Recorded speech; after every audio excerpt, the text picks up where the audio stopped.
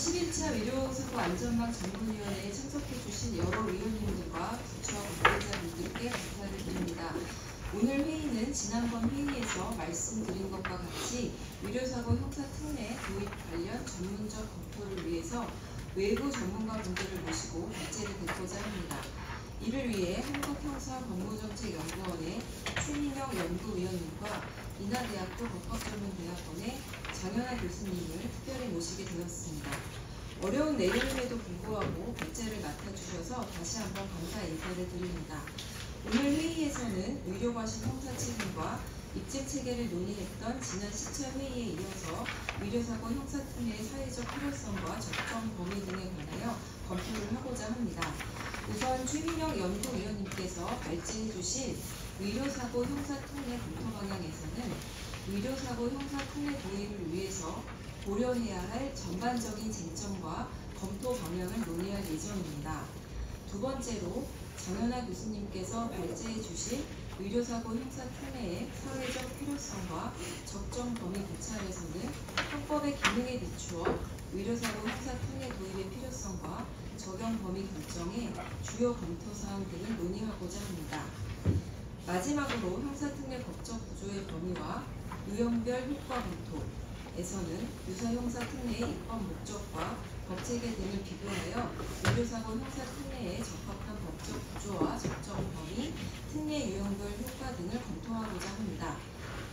그동안 의료사고 안전망 전문위원회에서는 의료사고로 인한 민 형사상 소송을 줄이기 위해 의료사고 소통 활성화 및 지원 방안, 환자 대변인 도입과 컨퍼런스 감정 활성화 등 의료 분쟁 조정 제도의 혁신, 고액 배상 부담을 완화하기 위한 배상 보험 제도의 활성화 등을 논의해 왔습니다.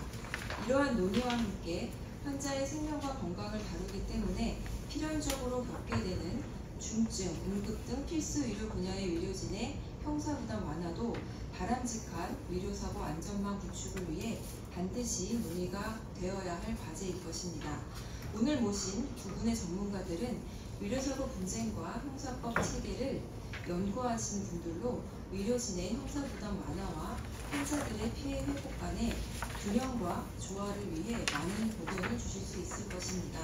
특히 오늘 논의에서는 의료사고 형사 특례의 사회적 필요성과 일반적 헌법 기능을 비교하여 특례 도입 과정에서 짚어야 할 주요 쟁점들을 심도 있게 토론하기를 기대합니다.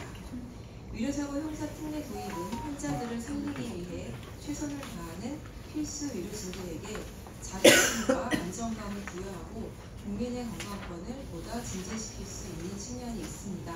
다만 신속한 피해 보상과 의료사고 실체 규명 등 형사 특례 도입으로 인해 우려되는 억울한 피해 사례를 막는 것도 의료사고 안전망 논의의 주요한 과제일 것입니다. 이를 위해서 의료사고 형사 특례 목적에 맞게 법적 구조와 적용 범위를 면밀히 검토하고 특례 유형별 요건도 구체화해야 할 것입니다.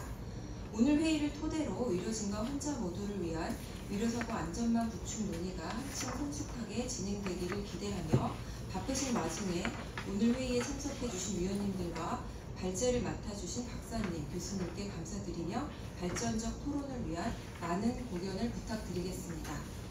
감사합니다.